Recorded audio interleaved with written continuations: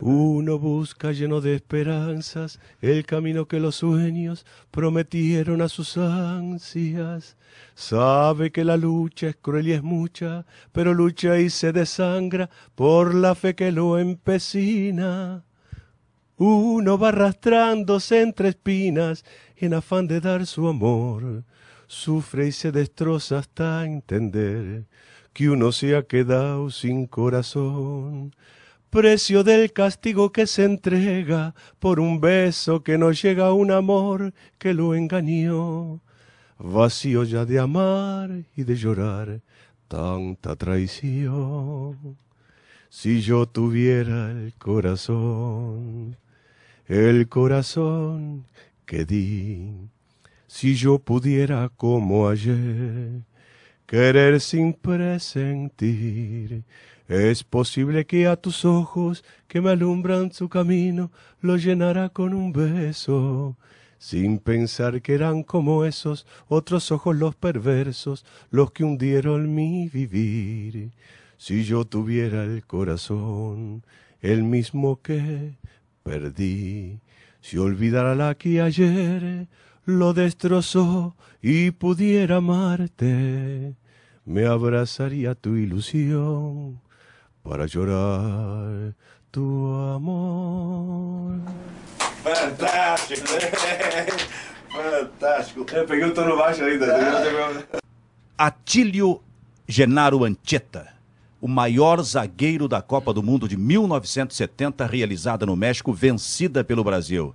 Ancheta, depois daquela Copa em 71, veio jogar no Grêmio. E o Ancheta é o convidado de hoje, do Estúdio B, para a gente relembrar alguns detalhes das tua, da tua passagem pelo Grêmio e um jogo emblemático também, onde o Rio Grande do Sul talvez tenha visto numa partida a maior dupla de zaga formada aqui. Ancheta, muito obrigado pela gentileza em participar do Estúdio B. Prazer, Benfica. É uma imensa alegria poder estar participando do Estúdio B. Antieta, tu passaste pelo Grêmio na década de 70. A gente vai mostrar em seguida uma outra foto tua, logo quando tu chegasse aqui. Mas tu viesse para cá com aquele. com o, o, detalhe, o cartel de ter sido escolhido o melhor zagueiro da Copa do Mundo de 1970. Talvez a Copa mais lembrada até hoje, no México, vencida pela seleção brasileira. Tinha o Pelé em campo e tinha tu jogando realmente muito, com 21, 22 anos de idade. É, na Copa eu, eu fiz com 21, em seguida completei 22. Certo. Em, terminou a Copa eu fiz 22 anos. Então, Copa inesquecível para ti? É, para mim foi inesquecível, porque eu sempre fui uma pessoa que me dedico muito, em uhum. tudo me dedico muito. Espero que alguma coisa aconteça de bom. Certo. É, mas nunca, é sempre exigindo-me, exigindo-me, cobrando-me tudo o ruim que eu faço. Não gosto de fazer coisa ruim, coisa errada não gosto de fazer. E, e, isso que me valorizou bastante, eu acredito, porque eu nunca me, me sentia um grande jogador, eu era um esforçado, um jogador que gostava de jogar futebol. Uhum. E isso eu acho que valoriza muito também.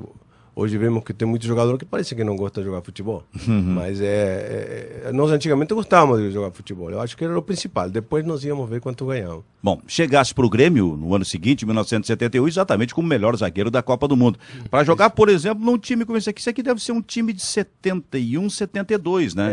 É, isso aí, que tinha o Jair no gol. É. Espinosa. Olha o Espinosa com o bigodão, o Torino, é, que era jogador de meio campo, Beto Bacamarte, Beto Bacamarte ali o Ancheta com, também com um baita bigode. É, já estava começando a, é. a, a cabelinho a crescer. Perfeito, aqui o Everaldo. Everaldo. Aí nós temos no ataque Flecha. o Flecha, Oberti, é, Oberti Mazinho, Mazinho, Gaspar, Gaspar e Loivo. E Loivo. Esse era o time lá de, do início, do, um dos É, primeiros times teus no, no- é pelo. Grêmio, né? É isso mesmo. Tanto gente- que o Gaspar ainda estava dentro do, Perfeito. do.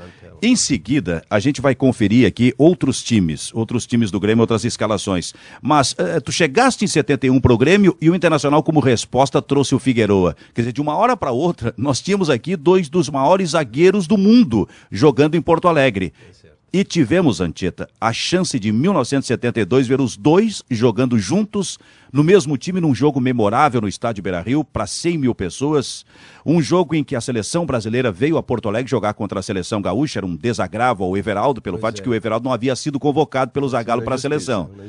Perfeito. E aí nós tivemos um grande jogo e foi realmente um momento magnífico, emocionante, né? Te ver ao lado do Figueroa, por exemplo. Muito forte, não só entre nós dois, que nós sempre estamos na rivalidade, ou que estávamos eh, sempre sendo comparados sempre? Perfeito. foi importante foi a torcida, o público que estava ali eufórico, feliz, né? e fanático, fanático por Rio Grande do Sul, porque aquele, aquele jogo foi, o, o, nosso Rio Grande do Sul foi fanático por, por Rio Grande do Sul, o Brasil era outro time contrário. É verdade. Era tão forte a tua marca e a marca do Figueroa, os dois jogavam com a camiseta de número 3, o Aparício Viana Isso, Silva, Aparício. jornalista, era o técnico da seleção, era gaúcha, e daqui a pouco ficou aquele negócio, quem é que vai jogar pelo lado direito, quem é que vai jogar é, com a camiseta de número 3? Como é que se definiu isso aí, Antieta? Isso chegou na pré-eleição, então disse, ah, lateral tal, lateral tal, outro tá, tá, tá, tá, foi indicando e deixou o zagueiro para o final. Né? É. Disse, bom, nós temos é, Figueroa Anchieta, Anchieta Figueroa, e não vou decidir, ele. Aí eu fiquei assim, ah, eu jogo pela direita. Ah, então eu jogo pela esquerda. Qual é o problema? Vamos jogar. assim se definiu. E se definiu assim, né? Com tranquilidade. É, eu não tinha problema. Eu, eu, como eu te disse, eu gostava de jogar futebol. Eu, não, eu, eu, eu, jogava centro médio quando comecei a jogar futebol. Depois eu fui para zagueiro.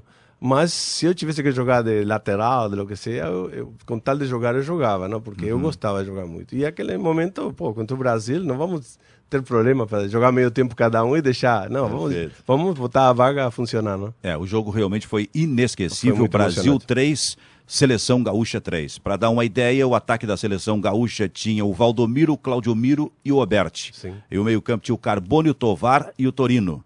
E acho que na defesa era o Schneider, se não me engano, o lateral Sim. direito era o Espinosa naquele jogo. É. Espinosa, tu e o Figueroa Isso. e o Everaldo na lateral esquerda. Uma tarde magnífica no Beira Rio. E vai aparecer o time que foi campeão gaúcho em 1979 e que tinha o um Manga no gol. É, tinha o um Manga. É. Isso mesmo. Vamos, dar, vamos, vamos conferir esse time Wilson, então. Tem Wilson até a escalação é, embaixo, tá mas a gente pode mostrar ali. O Wilson, o Wilson Vitor Hugo, Hugo Manga, Anchieta, Vantuir, grande jogador também, Dirceu, o Jarrão. Tarciso, o velho. É, o Banha? O Banha, né? Perfeito. Grande amigo. Paulo César. Isso, Paulo César Caju. Caju. Baltazar, Baltazar o chamado tava, de o goleador de Deus. Estava começando, já tinha chegado, né? Isso. O Jurandir. O Jurandir. Jurandir. E, e o Éder, ponteiro esquerdo. Isso. Esse era um bom time também, né? Era um bom time. É. Um time bastante é, firme, um time com, compacto. Como aquele de 77, né? É. Que tirou parecido, a isso mesmo, é isso mesmo. Perfeito. É. Agora, foi realmente... É que todo time, para valer, tem que ser compacto. Um time uhum. que tenha vontade, que tenha disposição. Eu acho que por aí vai a coisa no futebol. Então, se eu te provocasse e dissesse o seguinte... Contigo aprendi que a vida se renova a cada instante. Como é a sequência? Ah, sim. Contigo aprendi a conhecer um mundo novo de ilusiones. Aprendi que la semana tiene más de siete días a ser contadas mis mejores alegrías y a ser dichoso yo contigo aprendi. Perfeito. Atílio Genaro Ancheta, zagueiro do Grêmio nos anos 70, o melhor zagueiro da Copa do Mundo de 1970 no México, foi o convidado desse Estúdio B. Ancheta. Prazer, Benfica. Obrigado pela gentileza. É um prazer imenso estar frente a você. Para mim é uma satisfação enorme. Obrigado. Um beijo no coração. A contratação de Anchieta pelo Grêmio foi uma marca na cena local, porque Anchieta, melhor zagueiro da Copa de 70. Brasil tricampeão mundial. Jogo contra o Uruguai. Aquele lance que o Pelé tentou fazer, driblando, dando uma meia-lua no Mazurkiewicz, goleiro uruguaio, e no próprio gol do Uruguai, aquela tentativa não consumada, porque o gol não aconteceu.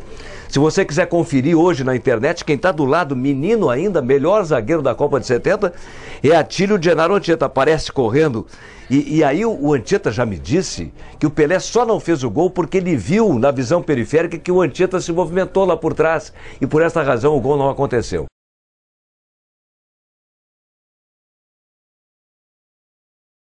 Aí o Grêmio contrata o Antieta, o Inter em resposta contrata o Figueroa, o Olímpico Beira Rio, Antieta Figueroa, e os dois juntos enfrentam o Brasil, a seleção brasileira, naquele jogo inesquecível, né?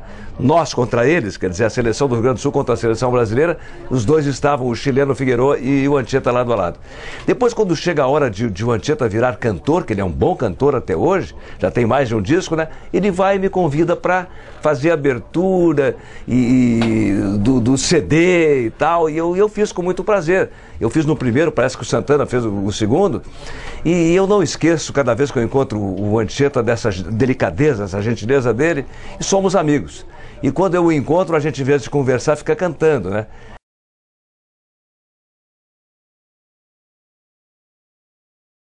Tipo assim.